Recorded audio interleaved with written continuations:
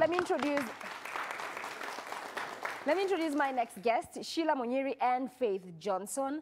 They say that a friend that they trusted violated their friendship in a way that for Faith today, she's very emotional about this. And for Sheila as well, because she lost a boyfriend to this friend. Please welcome them to the show.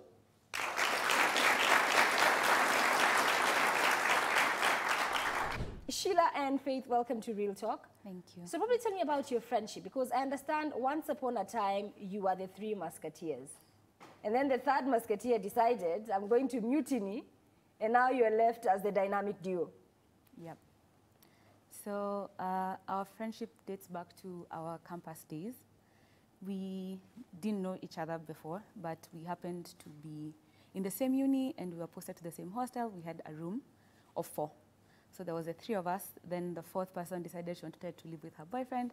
So it was just the three of us, Faith, myself, and Girl X. Girl X.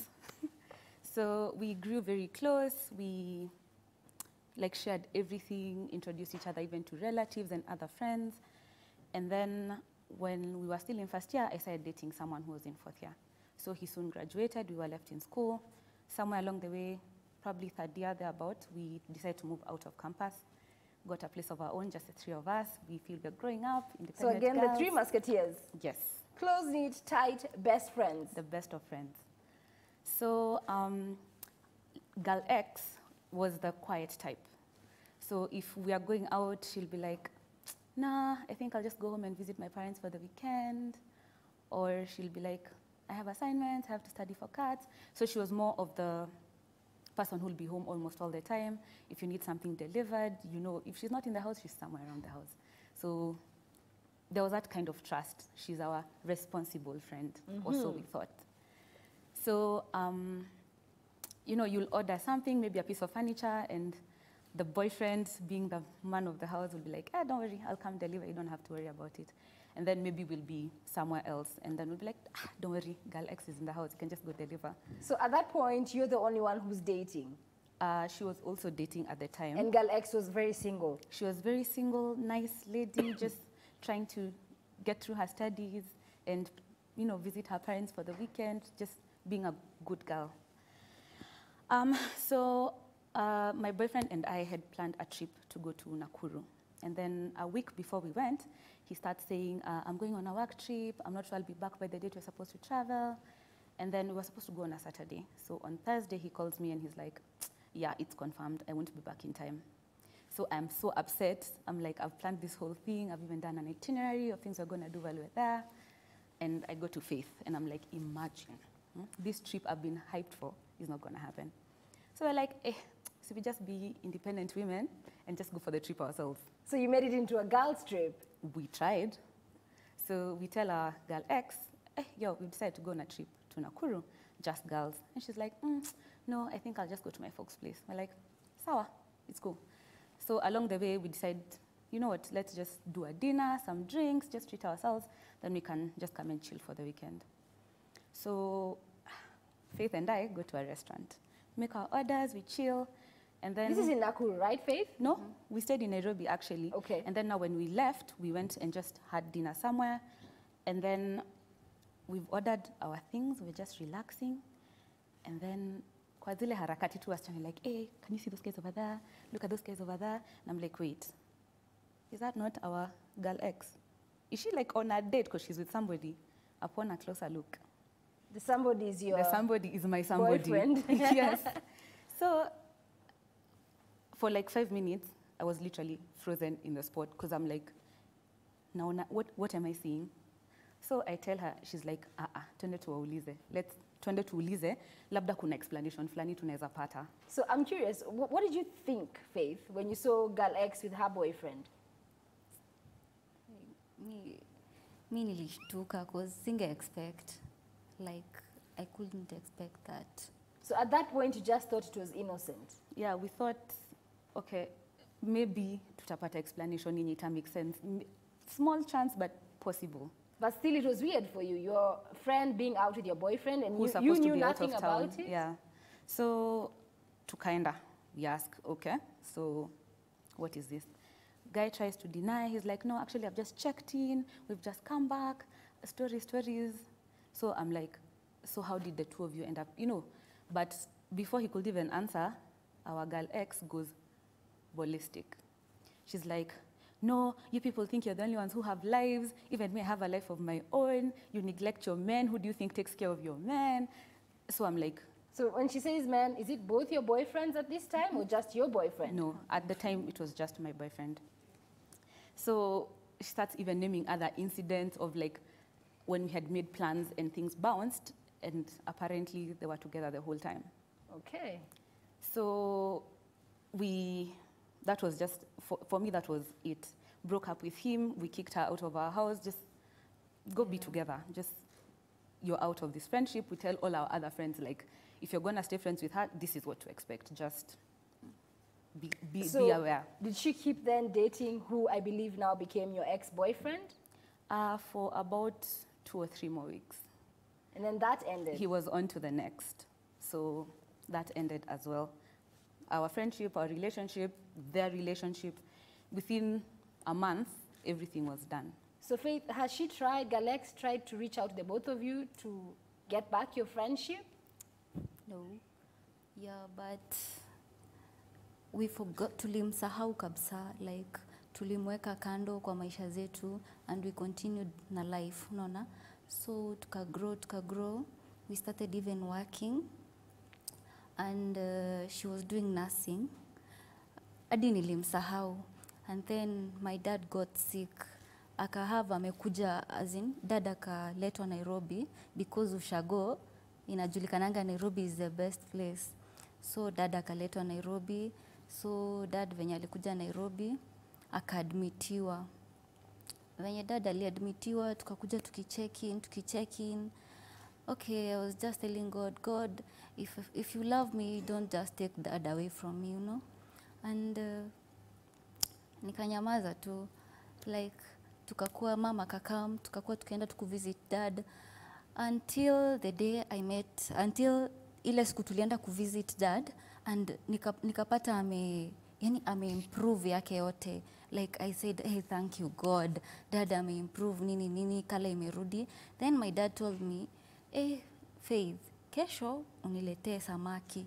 I'm like hey, nikapigia shila shila my dad is well. Ameniambia hata nimletee nini? Samaki. Shila akasema even hata mimi nitamletea samaki. So sisi wote akakuja aka- nayo tukapatana OC even mam pia alikuja na samaki as in we were There was so a lot of happy. fish for him. yeah. God. Kufika kwa ward we met a lot of people surrounding my dad wako niko like dada alisema jana tumletee samaki what's happening? Tukaambiwa tutoke nje. Venye tulitoka nje imagine the same girl akakuja akania as in, ilikuwa shift yake like alikuwa na waku huko sijui kama alikuwa internship ama ni nini alikuwa na waku huko. Akakuja akaniambia i will never forget those words. What did she say to you?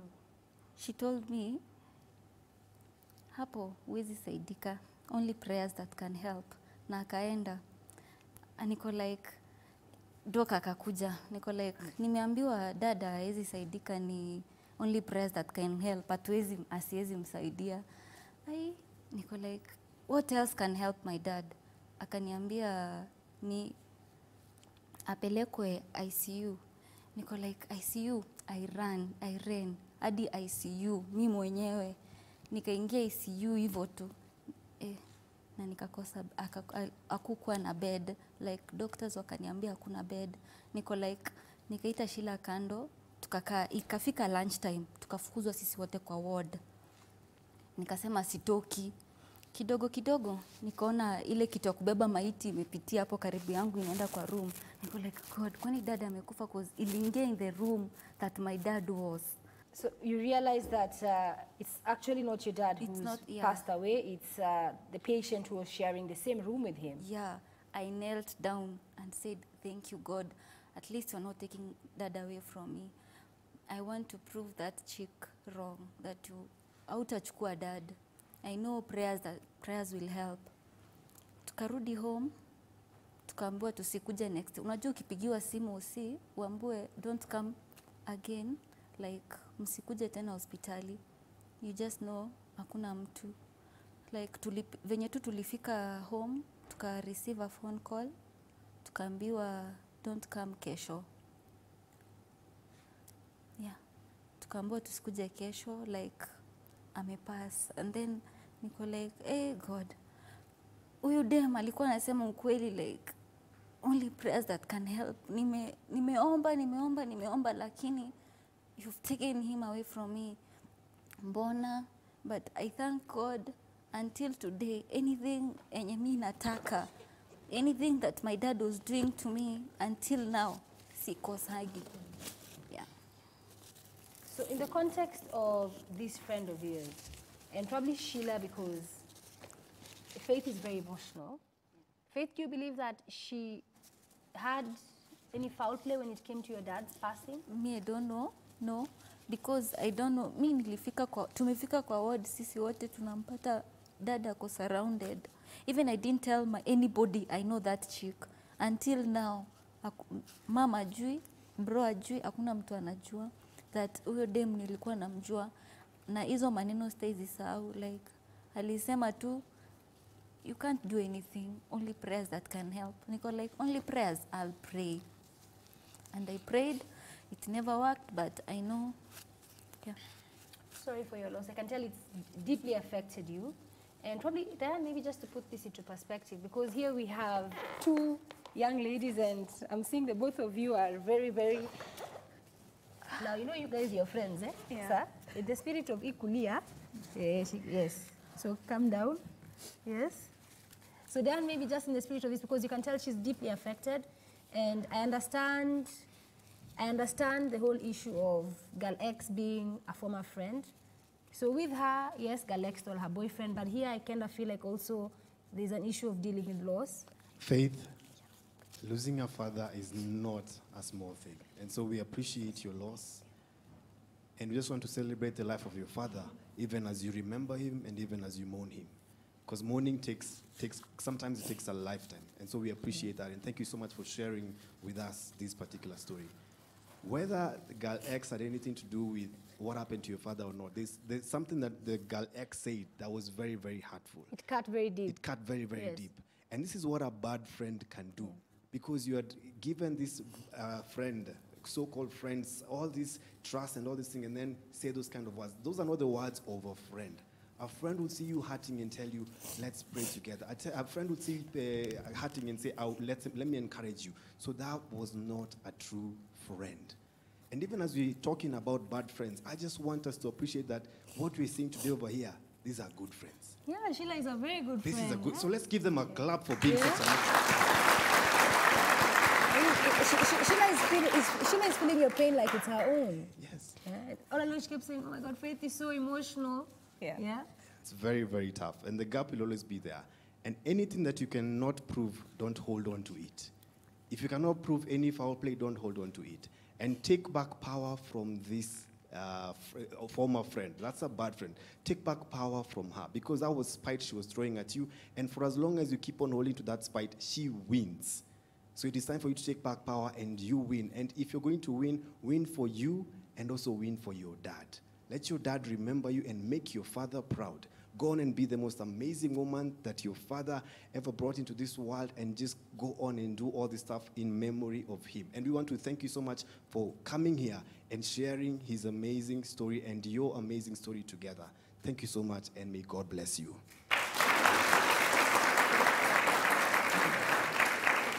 Okay, we'll be right back after this break. Don't go too far. Real Talk continues shortly.